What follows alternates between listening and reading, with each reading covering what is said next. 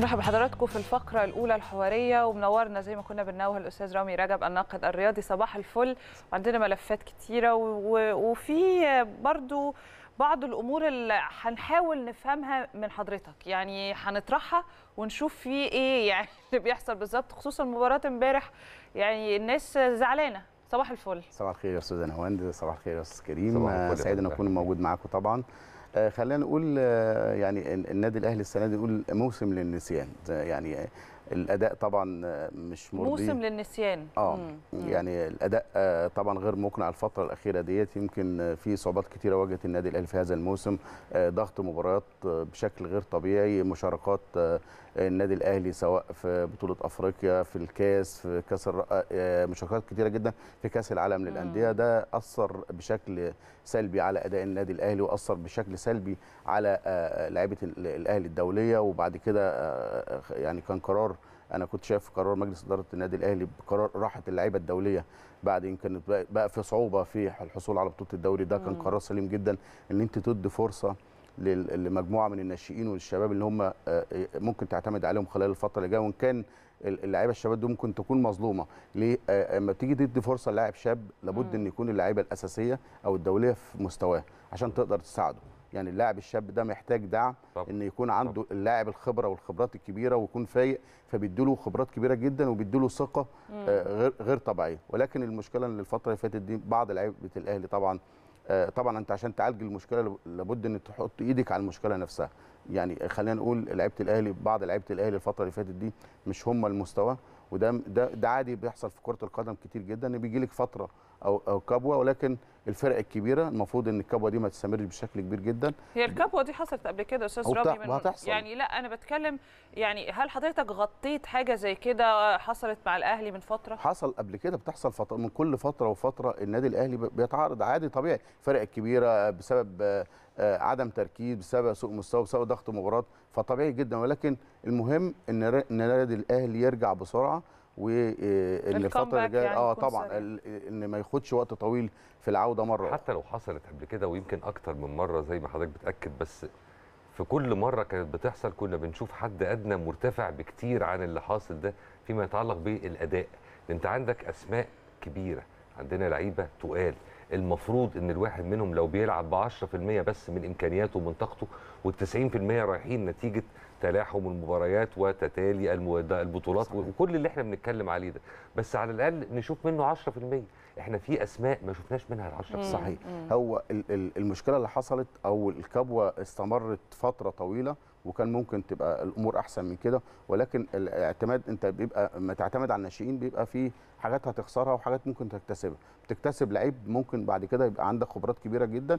ولكن اللعيب الصغير ده أنت ممكن برده ما تعتمدش عليه إن هو يحقق نتائج إيجابية محتاج الصبر ده في عليه الظروف العادية لو الوضع مستقر آه. وانت بتطعم بالناشئين آه أو إنما- بال بال بال خلينا نقول. الفترة اللي فاتت دي اللعيبة كلها اللي خدت فرصة لعيبة معظمهم يعني هتلاقي ثلاث أو اثنين لعيبة اللي موجودة عندهم خبرات كبيرة في النادي الأهلي والباقي كله هتلاقي مثلا لو شفت امبارح هتلاقي مثلا معظم اللعيبة اللي الدافع بيهم ما عندهمش خبرات كبيرة جدا. باستثناء لاعب أو لاعبين ثلاثة صحيح فبالطبيعي إن أنت ممكن آه، اللاعب الناشئ أو الشاب ده اللي أنت يعني ما ما يبقاش ظاهر بشكل كويس محتاج دعم خلال الفترة الجاية محتاج ياخد أكتر من فرصة وده طبيعي جدا. أنت أكيد أنت مش هتعتمد عليه كنتيجة دلوقتي. صعب جدا إن لاعب لسه بيلعب في الأهلي كمان مع هذا الكيان مع الضغط الجمهوري مع مع مع, مع حاجات كتير جدا مع عارف إن كل آه، كل مباراة بيبقى فيها متابعة في السوشيال ميديا بتأثر عليه بشكل سلبي. فبالتالي اللاعب الشاب ده كان محتاج زي ما بقول لحضرتك كده محتاج دعم من اللعيبة الخبرة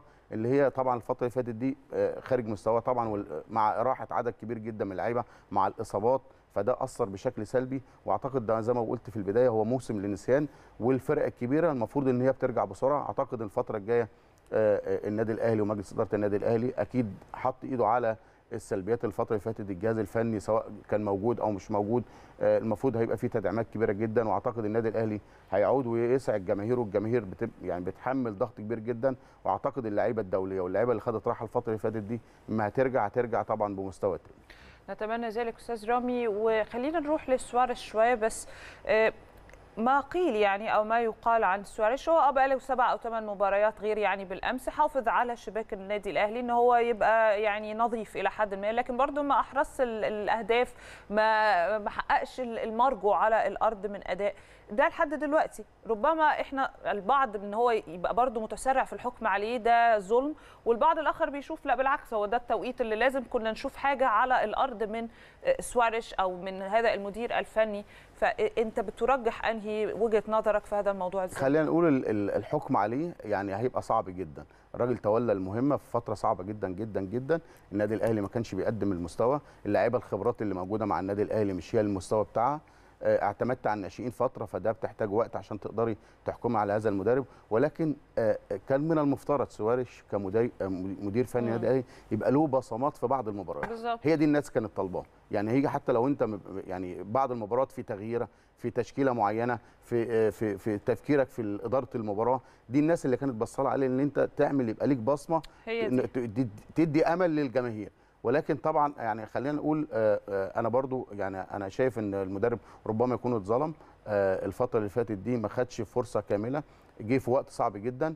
النادي الأهلي كان بيمر بحالة فنية صعبة جدا جدا جدا مع راحة اللعيبة الدولية اللي كان يعني بيعتمد عليهم محمد شناوي ومع إصابة عمرو السولية وحمدي فتحي ولاعيبة كبيرة جدا مع- وعلي معلول. اللعيبة دي كانت النادي الأهلي هي يعني كانوا مشاركين بشكل أساسي في إحراز البطولات خلال الفترة اللي فاتت دي مع الاعتماد على الناشئين أعتقد إن هو أثر بشكل سلبي على أداء النادي الأهلي ولكن سواريش كان مطالب قدام جماهير النادي الأهلي إن هو يعتمد يعني يعتمد نفسه كمدير فني فعلا يستحق ان هو يستمر في النادي الأهلي الفترة اللي فاتت دي. أكيد مش هنختلف على إن التوقيت والظروف والملابسات اللي ريكاردو سواريش جه فيها النادي الأهلي أكيد هي ظروف استثنائية وأكيد ده مش التوقيت الأمثل ولا الوضع الأمثل. هو جه على وضع يمكن ممكن يتقال عليه إنه وضع مهترئ كمان إلى حد كبير. ولكن نفس الكلام اللي كنت بتكلم مع حضرتك فيه من شوية على اللعيبة الكبار اللي المفروض ايا كانت الظروف والملابسات اللي حواليهم يورونا 10% من الأداء. نفس الكلام إلى حد كبير المفروض يتقال كمان على المدير الفني إن هو برغم إن في 90% برضه هيروحوا نتيجة التوقيت والظروف و و لكن على الأقل نشوف 10 يعني بصمة ب 10% من إمكانياتك كمدير فني. عندك حق أنا لسه بقول هو بس المشكلة الوقت كان صعب واللعيبة خاصة اللعيبة الدولية يا أستاذ كريم اتأثروا بشكل سلبي جدا من ضغط المباريات. واللعيبة اللي كانت بتشارك دلوقتي ما كانش بتعتمد على آه، آه، ما كانت مش موجودة بشكل أساسي مع موسيماني فهي برضو نعتبرها إن هم آه، بقى لهم فترة ما. ما بيلعبوش بشكل أساسي. مع الاعتماد على مجموعة من الناشئين مع الاعتماد على لعيبة ما كانتش بتلعب أساسي الفترة اللي فاتت دي ده كله بيأثر بشكل سلبي على أداء النادي الأهلي. يعني إحنا آه، النادي الأهلي ما كانش مطالب بالفوز في كل مباراه رغم طبعا آه، الظروف وال...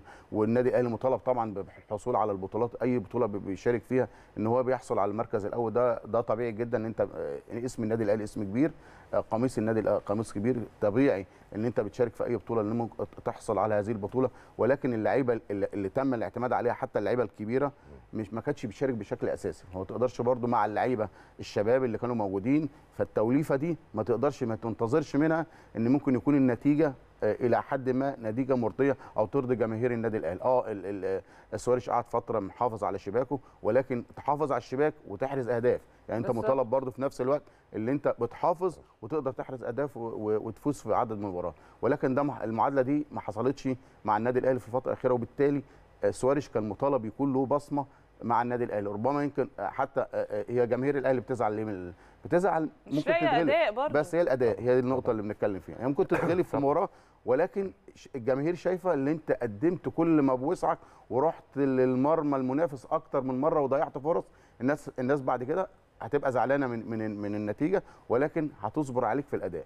صح. الفترة اللي فاتت دي الأداء متراجع بشكل كبير جدا سواريش أنا شايف إن آه، آه، كان له بعض الأخطاء الفترة اللي فاتت دي. آه له عذر في حاجات كتيرة جدا وزي ما قلت لحضرتك الوقت كان صعب اللي جه فيه ولكن كان المفترض إن يبقى له بصمة عشان تدي طمأنينة حتى للجماهير الأهلي. ده في حالة استمراره الموسم القادم. طيب خلينا برضو كده نتكلم بمنتهى الشفافية لما يعني نذكر حال النادي الأهلي و يعني مش هنقعد ندي أعذار إحنا مش إحنا. يعني النادي الأهلي ده مش النادي الأهلي. صحيح. يعني لا لا اداء ولا فنيا لا ولا طبعا غيره. طبعا. لكن في ملف مهم ممكن البعض يشوفه مش من الأسباب والبعض الآخر يقول لك لا ده من الأسباب الأساسية. وهو الملف النفسي. يعني بمعنى آه، بنشوف في الدوريات المختلفة Premier League وغيره لازم بيكون في أخصائي نفسي مع أي فريق وفي أي رياضة مش بس كرة القدم. عندنا هنا لسه هذه الثقافة في مصر مش مطبقة بشكل كبير أو مش مطبقة أصلا كانت مطبقة فترة وما استمرتش. الثقافة بقى راجعة ليها آه، الناس شايفة إن ده شيء رفاهية وغيره. لكن واضح جدا إن مهم قوي يبقى في أخصائي نفسي ومتخصص وعنده لغة الحوار مع اللعيبة لأن أنا لما بيبقى عندي إصابة وبرجع بحتاج إن حد الفترة دي يعوضني عنها لما. بخسر وب- وبعدين عايز أرجع للمستوى لما بيبقى عندي إصابة لما بيبقى عندي ضغوطات لما بيبقى عندي منتخب وحصل ظروف فيه كل ده بيؤثر بشكل كبير جدا ربما كمان هذا الملف بيؤثر على الأداء الفني لكن إحنا ما عندناش هذه الثقافة للأسف صح. فمعلش هل ده عامل ولا هنقول لا مش شرط لا هو عامل طبعا بس مع اللعيبة الخبرات اللي عندها خبرات ممكن ال ال ال الخبرات بتاعتها الدولية والمشاركات مع النادي الأهلي والضغط ربما آه، ممكن تتخطي الصعوبة دي يعني ممكن أقول لحضرتك حاجة اتفضل. لو الموضوع كان مش مهم ما كانش عندك كريستيانو وميسي والأسماء الكبيرة في عالم كرة القدم عندهم. دول بيمشوا بس اللعيبة. الخبرة بتبقى سهلة ان أنت تعدي المرحلة دي مع أخصائي نفسي أكيد هي هي... مش بالخبرة قوي على قد ما إحنا بشر. في الأول في الآخر طبيعة نفسية طبيعة بشرية.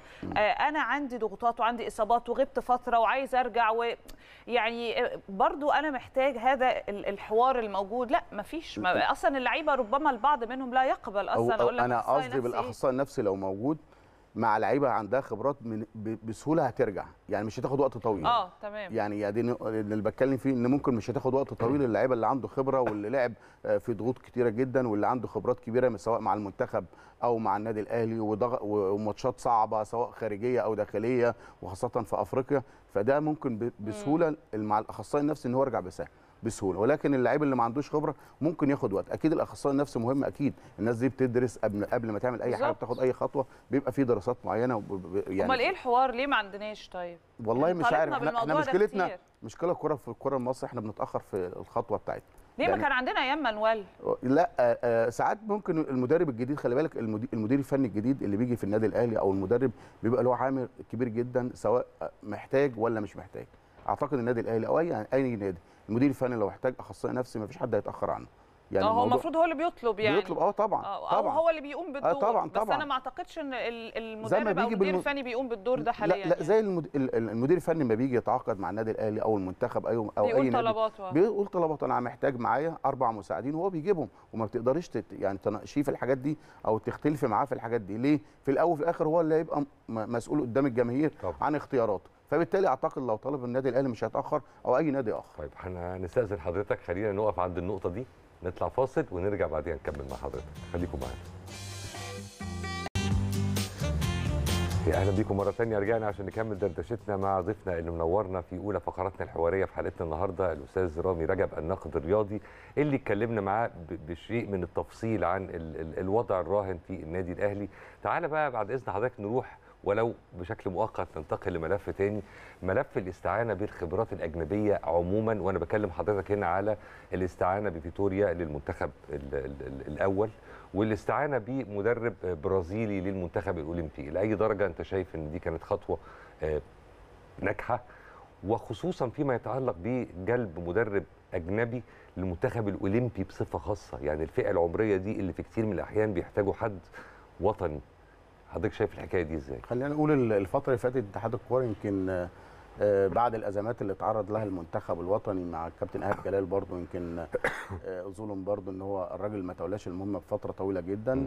آه، تم الاستقرار بشكل رسمي على الاستعانة بمدير فني أجنبي سواء للمنتخب الأول أو المنتخب الأولمبي. وكمان كان في فكرة أو قرار من اتحاد الكورة يتم الاستعانة كمان بمدير فني لاتحاد الكورة يكون أجنبي ولكن اتحاد الكورة الفترة الأخيرة دي تراجع عن هذا القرار واستكفى بس بالمدير الفني لل- للمنتخب الأول اجنبي والمدير الفني للمنتخب البرازيلي خلينا نقول روي فيتوريا من المدربين ال- آه، المميزين في ال- في في أوروبا حقق انتصارات كبيرة جدا. هو آه، طبعا هو ما عندوش خبرة مع المنتخبات. كل ال- ال- ال- السيرة الذاتية بتاعته في الفترة اللي فاتت دي مع أندية. مع, أندية. ولكن حقق معاها في الدوري البرتغالي في الدوري السعودي حقق بطولات كتيرة جدا وأكيد هو مدرب كبير جدا جدا جدا وعنده خبرات كبيرة جدا إن شاء الله. إحنا متفائلين بخير إن ينقل ال- ال- الكرة المصرية آه، لجزء آخر إن شاء الله في الفترة اللي جاية.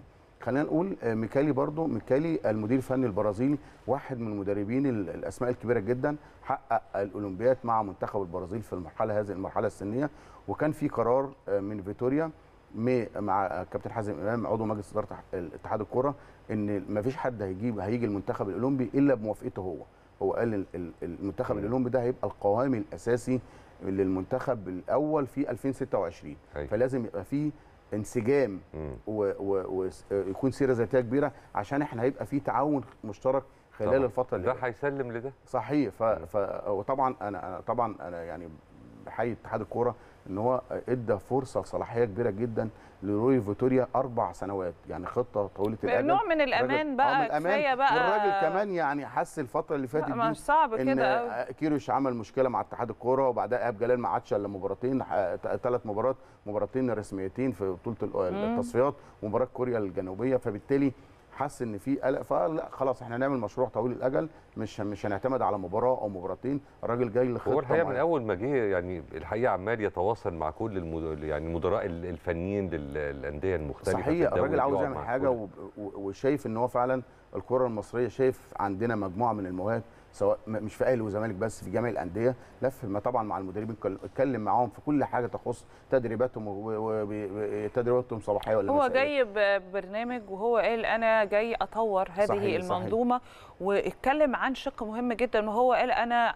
يعني فهمت طبيعة المشجع المصري ومن حق المشجعين المصريين إن هم يسعدوا بمنتخبهم وده اللي هيشتغل عليه فدي نقطة برضو كانت في غاية الأهمية بتهيألي إن هو كبير يجي هو مدرب هو. كمان في نيته كمان إن هو ممكن يعمل جولات للعيبة الأجانب اللعيبة المصرية المحترفين بره يبقى في فرصة إن هو يشوفهم بطبيعتهم يشوف كويس. مشاكلهم إيه وده ده حاجة كويسة يعني هو الراجل جاي فعلا عاوز يعمل حاجة مع الكرة المصرية في الفترة اللي بالظبط. فاتت دي وعنده طبعا أول معسكر إن شاء الله المعسكر الشهر الجاي هيخوض فيه مباراتين وديتين. هيتلعب مع منتخبين أفريقيين الراجل طبعا قال أنا مش عاوز أبدأ بماتشات ودية كبيرة جدا. في النيجر دلوقتي و- وليبيريا بشكل كبير تم الاستقرار عليهم. وكانت السودان هو طبعا اتحاد الكورة شاف له الاتحادات اللي ممكن توافق على خوض مباراتين آه، عرض عليه حوالي خمس منتخبات. أعتقد بشكل كبير جدا النيجر وليبيريا. والراجل أنا مش عاوز ألعب منتخبات كبيرة اللي هيبدأ تدريجي عاوز ال- يعني مش عاوز يبدأ مع منتخبات يعني. قوية. آه. يعني اتعرض عليه مثلا الجزائر اتعرض عليه منتخبات قوية. فلكن هو الراجل فضل إن هو يكون المنتخبين مش منتخبين مصنفين على أساس طبعا إن يدي فرصة حتى هو الراجل مش عاوز مش هيعتمد على اللعيبة اللي كانت. معتمد عليها بشكل أساسي الفترة اللي فاتت. طبعا آه، محتاج خبرات في المنتخب اللعيبة المحترفة هتبقى موجودة اللعيبة اللي عند- اللي لعبوا بشكل كويس في الدوري. كويس إن في فكرة وفي خطة وفي منهج معين وهيدي فرصة عليه. اللعيبة الفترة اللي جاية. بس مش هتبدأ بشكل آه، هتبقى بتدريجي برضه. مش هيقدر يدي فرصة لكل اللعيبة اللي هيشوفها أكيد. الفترة اللي فاتت هيبدأ بشكل بشكل تدريجي. فأعتقد إنه إن شاء الله يعني إحنا متفائلين بيه. خير هو اسم كبير طبعا وأول تحدي له كمدير فني منتخب. يعني ما ما في, طوال سيرته الذاتية ما دربش منتخبات. فعنده فكر كبير جدا طبعا مع مجموعه المحترفين محمد صلاح والنني هو المهم. بس المحترفين لما يجوا يلعبوا مع المنتخب نلاقي أداء مش هقول مماثل عمر ما هنقول مماثل لأن هو نبقى بنضحك على نفسنا مع فرقهم أكيد لأ. بس آه، نلاقي أداء يعني آه، مختلف أداء متميز إلى حد ما لأن بنشوفه بس مش بنشوفه بشكل مستمر. ممكن نلاقيه في ماتش في مباراة في اسيست في جول صحيح لكن صحيح. مش بطريقة آه، مستمرة. نتمنى إن هو يلعب على النقطة دي لأن إحنا عارفين طبعا أي محترف يعني زي صلاح وتريزيجيه والنني وغيره بيبقوا محتاجين برضو مساعدة على الملعب فنتمنى إن هو يبقى فيه ما يبقاش فيه بعد المسافات زي ما بيتقال في الأداء. بس خليني أروح مع حضرتك لنقطة مهمة. بما إن إحنا بنتكلم عن الكرة المصرية وتطوير هذه المنظومة البعض وحضرتك أكيد تابعت من ال- يعني السادة الزملاء السادة المتخصصين في هذا المجال قال لك أو هم غير راضيين عن فكرة إن هو إحنا اللي بنجيب أجانب هو إحنا ليه بنستعين بخبرة أجنبية هو إحنا يعني مش كويسين ما عندناش ناس طبعا حضرتك سمعت طبعاً. إحنا يعني بلا طبعاً. ذكر أسماء طبعا في يعني سواء في التحكيم أو في الإدارة الفنية أو غيره آه، في ناس معترضة للاعتراض وفي ناس معترضة لوجهات نظر وفي ناس بتقول لك طب ما ندي فرصة طب ما إحنا عايزين نطور وإحنا والجماهير بتطالب بده وكل الناس بتطالب بده طب ما نجيب خبرة أجنبية تطور لنا وبعدين تشوف خبرة محلية أو مصرية. بتشوف ده إزاي؟ بشوف إن أهم حاجة الاسم المدير الفني اللي جاي لك ده هل هو اسم كبير في ألو... في ال... في ال... في, ال... يعني كثيره ذاتية كبيرة جدا يقدر يحقق معاك ولا لا؟ هنعرفها إزاي برضو يا أستاذ رامي؟ ما إحنا كان كيروش وتاريخه. كده. طب ما إحنا جبنا كيروش وكان عنده هذا السي في اللي الناس قعدت تشكر فيه كتير. إحنا وصلنا يعني برضو خلي بالك يعني إحنا ما خدناش بطولة الأمم ولكن وصلنا المباراه النهائية ولعبنا مع منتخب كبير. يعني برضو خلينا الراجل كان له بس إحنا وصلنا لأحسن من كده بكتير. بمحليين. لا يعني معلش الفترة اللي فاتت دي ما كانش المستوى إلى حد ما. إحنا إحنا إحنا رايحين بطولة الأمم الأفريقية. ما كانش لو سألت أي حد من الجمهور في مصر لا إحنا هنخرج من ممكن نخرج من الدور ال 16 الكبير. صح كده؟ حتى وخاصة مع المستويات في أول ماتشات مع نيجيريا وبدأنا بطولة الأمم ما كناش أمال المستوى أنا كنت عمالة أغير مدير فني ليه؟ وعمالة أجيب وأعمل صفقات وبتاع. طب ما أنا عشان نفسي اللي أنا في ال mindset بتاعي ده ما يبقاش الحقيقة؟ في الآخر أنا له إخفاقات وكان له سلبيات في الفترة اللي, اللي قعد فيها. ولكن على على المستوى ال- ال- ال- المهني مع منتخب مصر لا أعتقد إن هو يعني نجح. آه هو إحنا ما وصلناش كاس عالم ولكن انت كنت بتقابل منتخب كبير جدا منتخب السنغال. بس دمر يعني- نفسية أو بلاش دمر جملة كبيرة بلاش نسحبها.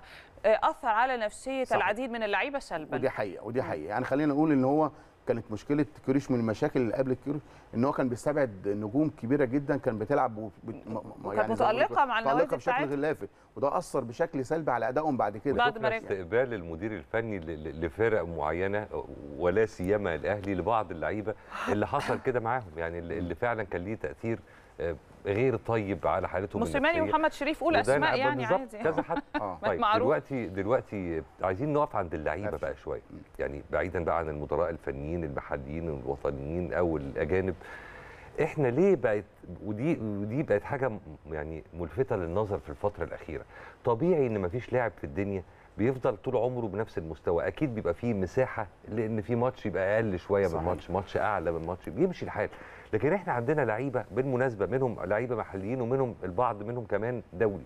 يعني الناس جايين من من دوريات تانية بيلعبوا في فرق مختلفة في الدوري المصري.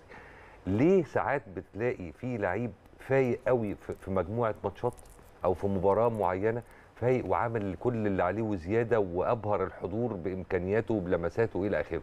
والماتش اللي بعديه وكأنك تتفرج على لعيب تاني خالص. ما عندوش ربع اللي كان بيوروه لك في الماتش اللي قبليه. ليه التذبذب اللي ساعات بيبقى واضح قوي والجاب اللي ساعات بيكون كبير قوي بين مستوى اللاعب نفسه في مباراة عن مباراة ده بيكون نتيجة إيه؟ خلينا نقول أنا بالنسبة لي أنا اللعيب اللي أقدر أقول لعيب فعلا مميز اللي بيبقى بيحافظ على مستواه فترة طويلة. يعني عشان أقول ده فعلا لعيب جيد. ومفيد لناديه اللاعب اللي مش بيلعب مباراة وثلاث مباريات أو خمس مباريات لا. ده لعيب مش هتقدر تعتمد عليه. خاصة في الماتشات الكبيرة. اللعيب ده بيبقى مركز في مباراة المباريات الثانية ما بيبقاش مركز أو واخد ال- الأمور بشكل جدي. فبالتالي هتلاقي نفس اللعيب ده اللي بيقدم مستويات رائعة في مباراة ما بيظهرش بشكل كويس جدا في الفترة في الفترة في في فترات كتيرة من المفروض. إن المبدأ ما بيتجزأش لا هو المبدأ الأساسي ده عنده. كلها ثقافة لاعب تدريباته. هل هو آه، كان نايم بدري في في, ال- في اليوم ده قبلها قبل المباراة ولا لأ؟ في حاجات كتير. آه، في يعني الموضوع مش موضوع بس إن هو لعيب عنده مهارة فبيظهر بشكل كويس في مباراة ومباراة لأ يبقى بيبقى في مشاكل ودي الثقافة للاعب المصري. هل أنت بتقدر تحافظ ولا لأ؟ محمد محمد صلاح لما وصل للعالميه. هل هو فعلا كان أحرف لاعب في مصر؟ كان في لاعيبه طبعا محمد صلاح نجم كبير جدا مفيش حد يختلف عليه. ولكن اللي ساعده إن هو يبقى من أفضل ثلاث لعيبة في العالم وبينافس الثقافة بتاعته طريقة تفكيره خصوصا إن هو. أول ما احترف ما كانش موفق زي آه دلوقتي أبداً. واشتغل على نفسه وشاف إيه أخطائه والراجل اشتغل على نفسه وثقافته إيه وبنام إزاي وباكل إزاي وإيه الأكل الممنوع حتى عليا اللغة على فكرة بتفرق مع المحترف. يعني لما بيروح ليحترف بره وما بيتعلمش اللغة بيؤثر عليه بشكل كبير جدا شفنا أسماء كتير احترفت ولم هو حط تستمر هدف قدامه واشتغل عليه واشتغل عليه كويس جدا جدا جدا وركز عليه. فبالتالي ربنا كرمه ووصل لمرحلة إحنا ما كناش كلنا عمرنا نتوقع إن محمد صلاح يبقى واحد من أفضل ثلاث لعيبة في العالم. فدي الثقافة. فلعيبة عندنا في مصر هنا مركز في مباراة ومش مركز في الثانية نايم بدري لا مش نايم بدري. آه عنده مشاكل زي ما حضرتك كنت بتقول ممكن مشاكل نفسية أثرت عليه في هذه المباراة. آه ممكن ما يكون ضغط عليه في مباريات كتيرة جدا مش ظاهر بالشكل المطلوب. آه في لعيبة كتيرة في مصر هنا وارد يبقى عم تشتكي من آلام في رجليها ما بتقولش المدرب خايفة على على. مركزها إن هي لو ما لعبتش المباراة طبعا. دي إن اللعيب البديل ياخد فرصته فدي كلها بتأثر عليه ولكن اللعيب اللي بيلعب في الأهلي أو في الأندية الكبيرة دي المفروض كل المباريات أنا عشان أحكم على لاعب يعني بحكم على محمد الشناوي محمد الشناوي جاله فترة مش مركز. مش هو محمد الشناوي. ولكن كمجمل يعني محمد الشناوي هيبقى هيفضل هو واحد من أفضل الحراس طبعاً، الموجودين أكيد. في مصر وفي أفريقيا. خلينا نقول يعني محمد عبد المنعم آه، في لعيبة علي معلول رغم طبعا طب أداء محمد الشناوي تفسره بإيه إن هو تأثر؟ يعني لاعب المرمى برضو ظروفه بتبقى مختلفة عن اللعيبة يعني التأثير ما بيبقاش بنفس المستوى. ليه بتحط يعني من وجهة محمد نظرك؟ الشناوي من أكتر اللعيبة لو ح- حسبنا فيه خمس أو ست لعيبة في الأهلي من أكتر اللعيبة اللي لعبت ماتشات في الفترة اللي فاتت دي. آه. طبيعي لازم الإنسان ياخد راحة. طبيعي إن نفصل. محمد صلاح في في في ماتش في اثيوبيا وماتش كوريا الجنوبية آه، جه تعليم أو أو كان في تواصل ما بينه وما بين آه، آه، اتحاد الكورة وليفربول إن لازم يحصل على راحة قبل الموسم الجديد. فمحمد الشناوي ومن اللعيبة اللي هم خدوا ماتشات كتيرة كمية ماتشات وبيلعب أساسي في النادي الأهلي. يعني كل الاعتماد الفترة اللي فاتت دي ما كانش فيه حارس بيعتمد عليه موسيماني أو مع المنتخب إلا كان بيبقى الاساسي هو محمد الشناوي. فالراجل كان عاوز فترة راحة. واعتقد مع عودة محمد الشناوي الفترة اللي جاية دي هيظهر بنفس المستوى اللي كان ظهر بيه. فعشان كده أنا ما باجي وأقول ده لعيب مميز أو لعيب كبير بحكم عليه في مجموعة من المباريات. في لعيبة كتيرة آه، مكسوني في النادي الأهلي. في بعض الماتشات بيظهر بيها بشكل كويس وبعض عدد كبير من الماتشات ما بيظهرش بنفس. المستوى. فبالتالي بيبقى في ديانج علامه نفسه كمان بينطبق عليه الكلام صحيح. بس اليو ديانج غير اليو ديانج الأفضل بنسبة 90 10% لا ما حسب ال percentage بس برضه بس يعني اليو ديانج مشكلته برضه ما بيبقى فايق بيبقى فايق قوي ما بيغيب بالظبط بيغيب. خالص ودي مشكلة. بس ساعات ما المرات دي. لا لا سا... اليو ديانج ب- تقيل. لا، لاعب ساعات- تقيل لا عندنا، لا هو لعيب. تقيل آه. أنا ما فيش حد بيختلف على إمكانياته لعيب تقيل جدا من أفضل اللعيبة.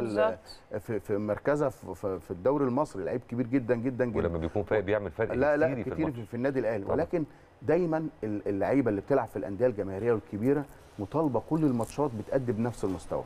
يعني أنا ممكن تيجي تقول لي مثلا ده ده بيعتمد ده لعيب كويس ولا لا؟ آه ما هو لعيب كويس بس بيديك بيديك كام في المية في المباراة. هي دي اللعيب اللي نقدر نحكم عليه. يا رب.